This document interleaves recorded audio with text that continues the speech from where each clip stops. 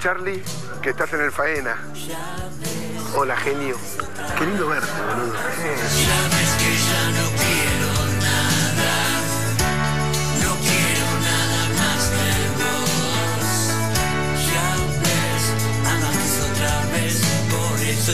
Llovió. 20 años de la viola, Charlie.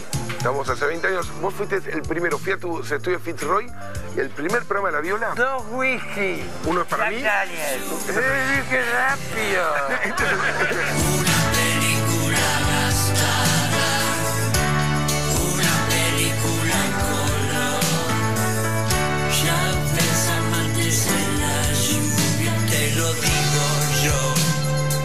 Me gustaría que, que me cuentes, los que te seguimos, te, te seguimos el rastro, tratamos de saber en qué andás. Nos sorprendió cuando salió Random, porque sabemos que siempre estás creando, pero no sabíamos que tenías un disco de canciones tan bellas que de golpe salió a la luz. ¿Dónde- ¿De dónde salieron las canciones? ¿De dónde vinieron? Mira, eh, en este mismo recinto, Acá en el Faena. acá en Faena, estaba en uno de los mejores cuartos y de repente me tropecé y me caí y se me rompió la cadera. Así que estuve más o menos un año y tres meses así. Con la cadera rota, pero Sí. operada. Quería recuperar mi, cadera y yo pu- puse voluntad, Dijiste, se recupera sola. se recupera. En realidad fue así. O sea, no creo mucho en, en los médicos y eso. Uno me dice, uno se recupera en un mes, recupera en dos, tres. ¿Y tuviste Y- tiempo para componer? Hice, sí, empecé a hacer como historietas. Eh, yo soy fanático de Stanley Kubrick, un gran cineasta, Sí. ¿no? Me empezaron a venir eh, cuentos, películas. 2001, dice el espacio, Lolita. Y estaba en la cama. Así que, o sea, no, no podía levantar No podías boludear. Tenías que, que estar ahí solo. solo.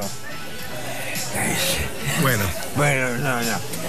El boludeo se lo dejo al público. muy bien. Perdón. Pedimos perdón. Corriendo enmascarando el fin.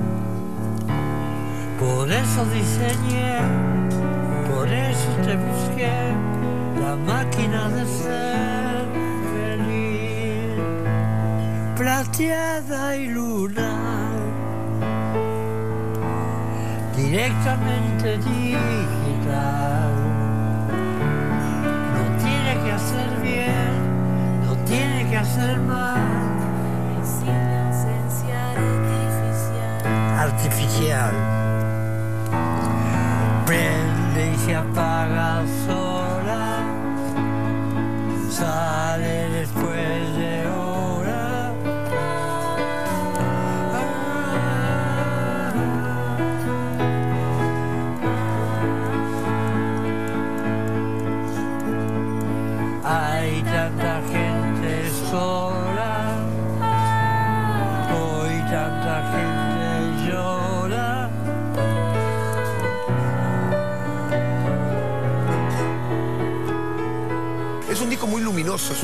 canciones hechas y derechas, como hace tiempo no hacías. Eh, tus discos últimos habían sido, tenían más efectos, más idas y venidas. Acá son canciones con buenas letras, con estribillos, estrofas, buenos solos. Es como que es ordenadito. ¿Eso es lo que te salió Sí, eh, me salió de acá. del corazón? Sí, Es luminoso el disco. es luminoso, Sí, es optimista. Es un disco de canciones luminoso. No, eh, ya desde la máquina de ser feliz. O sea, eran las máquinas de ser pájaros y ahora son las máquinas de ser feliz. la máquina de ser feliz.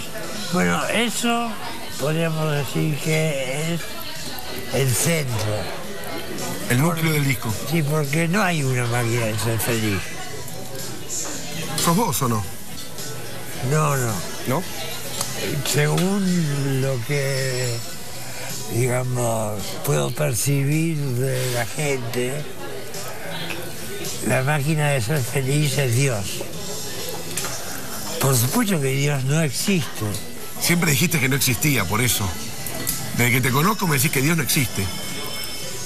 Es que me parece que es un cuento, como Caperucita Roja, o, o una persona linda. Eh, es una fábula, son fábulas. Y últimamente me di cuenta de que hay muchas divisiones en esta fábula.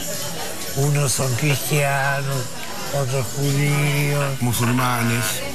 musulmanes, dueños de canales de televisión. Eh, digamos que este mito de que Dios es bueno y que ayuda a la gente. Hay una canción en el disco que se llama Los Amigos de Dios. Los amigos de Dios. Imagínate, ¿la viste? ¿Lo ves? A eso. No sé quiénes son. Los amigos de Dios, eh, los que salen después de las 12 y ¿Y vuelven cuándo? vuelven. Sí. Y si sos boludo, vuelven. Si no, no Los vuelven. brasileros, perdón. Que el Eso, programa de eh, los brasileros. José, José y Basanas José. Alma, que prometen curar a la gente eh, con plata. La gente da plata y ellos. Claro, pagás para que te curen, para... La fe tiene precio. La iglesia de Dios. La iglesia de Dios, claro, Rosario. Los amigos de Dios.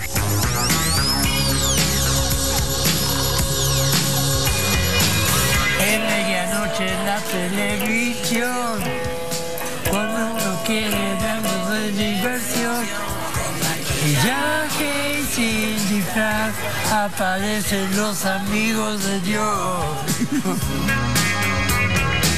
Charlie, la información que, que seguís recibiendo desde que escuchamos tu música al principio de los 70, sos un tipo con mucha información, entendés al ser humano, entendés el sentir, entendés lo que pasa. Y este último disco random, eh, seguís tirando información. ¿Estás pendiente o es algo que ya tenés incorporado? ¿Estás pendiente de lo que le pasan a los que te rodean? Tenés mucha sensibilidad, no hace falta que lo diga yo, en tus canciones está, pero en Random volvió a surgir eso. ¿Cómo nos entiende? Lo puede escuchar un chico de 17 años el disco y entiende, le estás hablando a él. Uno de 40 le hablas a él. Generalmente un chico de 17 años me entiende más que uno de 40. y uno de 60 ni hablar. No, pero realmente pasa así. Eh, le gusta a, los chicos y, y a la gente grande también. Eh, Pero entendés esa conexión que tenés con el adolescente, que seguís tirando información en las letras que al, que al adolescente le, le, le- le siguen llegando. Hay, hay chicos que te conocen por random y recién después de random van a clics modernos, a piano bar, a yendo a la cava al living. Hay una generación que te está conociendo por este disco. es verdad, es verdad. Y por eso también Random tiene un gran truco. ¿Cuál sería? ¿Cuál sería que lo pones y no elegís vos las canciones? Están en el disco. O sea, no, eh, es como si fuera... A ver, ¿Vos elegiste la manera en que se escucha el disco? ¿O el disco se eligió a sí, a sí mismo? así mismo. Claro. Random quiere decir Sí. aleatorio. Aleatorio. Entonces vos querés escuchar la canción de... y sale otra. Eso está... ¿Cómo te gusta molestar siempre, no? Tirando ideas. eh, no, no, no puedes hacer lo que hacen todos. Tenés que presentar las cosas de manera distinta. Eso le decían a Dylan. ¿Eh? ¿O no? Premio Nobel. Ya ves, amantes otra vez, por eso es que hoy llovió. ya ves, modelos de papel, no las critiques vos. Ya ves que no te puedo dejar las cosas que quisiste tener. Ya ves, amantes otra vez, por eso es que El video que se está presentando en estas horas eh, es una película, ¿no, Rosario? Es, un corto con una imagen divina en blanco y negro. Eh, ¿Quién lo pensó? Eh, vos estás ahí en el video, Charlie obviamente, la canción bellísima. ¿Quién tuvo la idea? ¿Cómo, cómo surgió hacer el video Lluvia? Las ideas salen de, Charlie, Charlie se las comunicó a la, gente que, tenía que hacer el video. A mí me llamó, me, me mostró referencias de, Lolita, de todas estas películas que él dice que, que lo inspiraron un poco. Eh, Singing in the Rain, que no, El- creo que Lluvia tiene, tiene que ver con eso. Un poco está un poco inspirado en ese clima, entonces eh, de ahí vino el, el vestuario, la época, todo, y el blanco y negro que le terminó de dar Y la última escena es tipo Casablanca, ¿no? Que están los dos. Sí, Yo lo vi y me emocionó mucho, así que creo que... ¿Y que la pasaste bien, la pasaste bien filmándolo? Sí, eh, nos cagamos de frío. Igual había dobles de riesgo con- para, para mojarnos, pero no, no, estuvimos ahí con una lluvia que, que armaron impresionante eh, y la pasé increíble, obvio. Charlie, es uno de los videos, no sé si coincidís, ya, ya lo, lo aprobaste vos, eh, tal vez más lindos de toda tu carrera, este de lluvia, ¿no? ¿Coincidís? No tengo muchos videos. Además no tenés tengo... muchos. Estoy verde. No me. ¿Te funky? Funky. Funky me robaron. Hola. Ah, Bruno Mars. Bruno Mars. ¿Te afanó? Mars te va a ir. ¿Te afanó funky? Pero muchos dicen que no. Muchos dicen que no. No sé. Son sordos.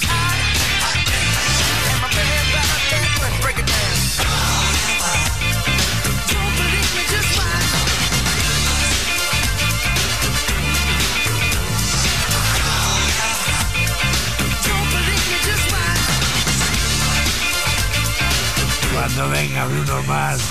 ¿Lo vamos a Aliados. proponer ir a buscarla a Bruno Mars? A, a Bruno Mars. Cuando venga a la Argentina, ahora viene a cantar. Cantar.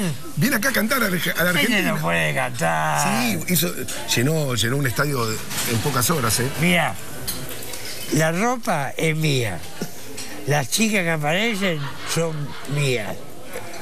Eh, la parte de abajo es mía. No, de Luparo. De Lupano. Pero Luparo. El zorrito hizo algo, pero no sé qué. Bailó en el video. bailó. Bailó, bailó. Eh, sí, sí, es una Es un robo. O sea, Bruno Mars le robó a Charlie García. Sería el título. Sí, pero no es algo mm, como que vos digas, ay, me siento orgulloso. ¿Vos querés que te pague? Me podría pagar.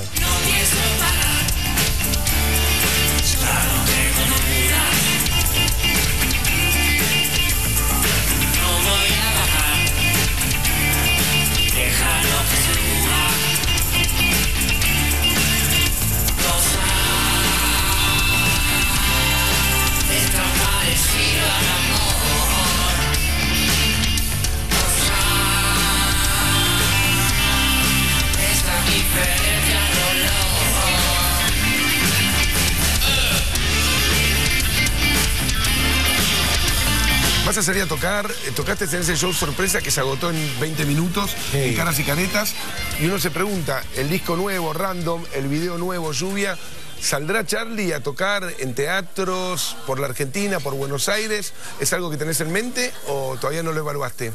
Sí, voy a salir a tocarlo, por supuesto. Bueno, ¿Viste a- lo que pasó? Sí. El indio Solari, en Olavarría. sí, que fue un desastre. Y pensé, ¿por qué pasaron esas cosas? Y pensé, ¿por qué los supuestos artistas rockeros hacen todo por la plata? Se suponía que el rock no era así. O sea, ¿Y hoy es así, te parece? ¿Se hace todo por la plata? una mierda. Sí, Sí, ya sé. Pero yo, Vos no. ese día por lo menos. Pero dije, ¿y qué- ¿por qué tengo que tocar por la plata? ¿Por qué no puedo tocar por la música? La- o sea, mi, mi motivo de vida es, es la música. Ella está en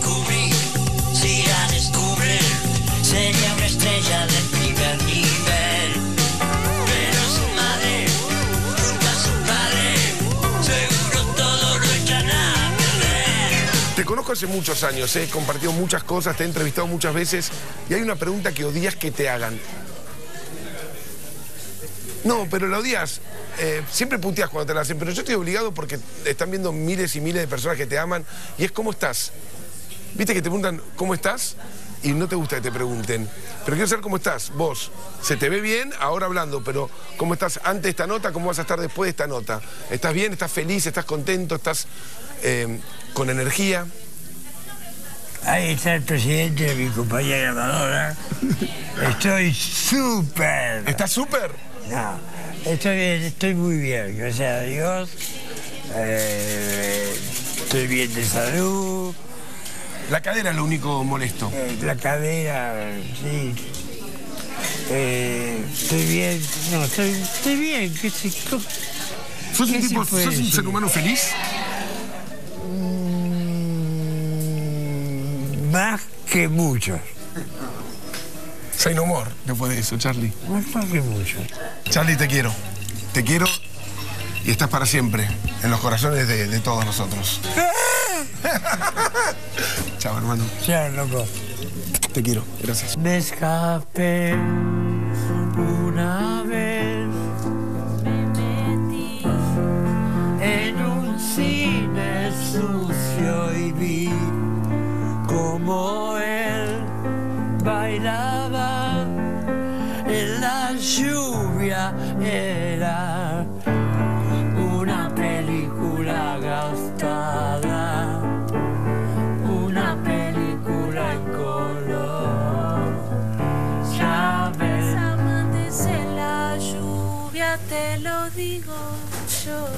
Te creo.